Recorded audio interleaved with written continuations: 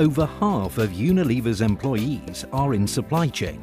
That's 97,000 people, and less than 5% of these are in management roles.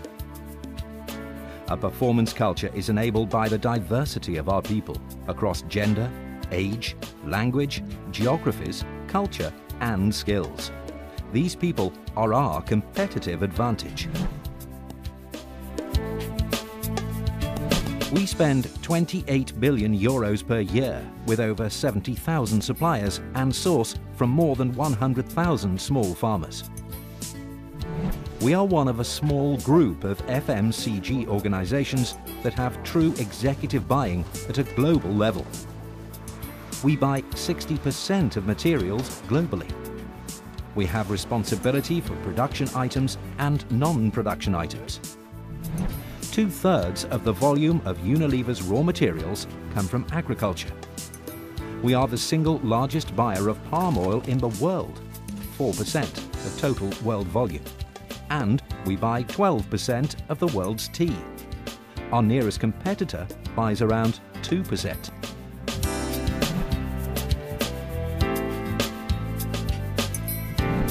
We have over 260 manufacturing sites and 12% of total supply chain costs are to third-party manufacturers. We are industry leading in eco-manufacturing. For example, we have reduced waste per tonne of production by 68% in the last 14 years. That's equivalent to the waste Vancouver's population of 550,000 people generates in a year.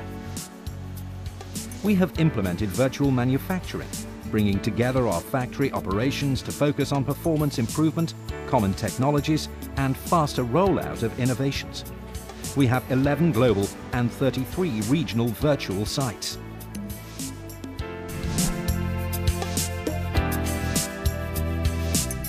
In 2008, customers in our top 20 markets alone ordered 2.3 billion cases of products. Delivery is another key component of service. In Asia and Africa alone, we ensure our products are available in over 10 million small outlets. For this area, the logistics distance travelled is 500 million kilometres, or from the Earth to the Sun and back, twice.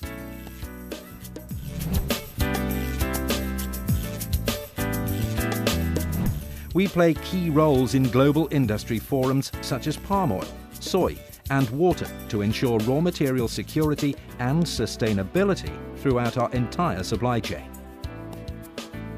In 2009, we ranked in AMR Research's top 25 supply chains for the first time.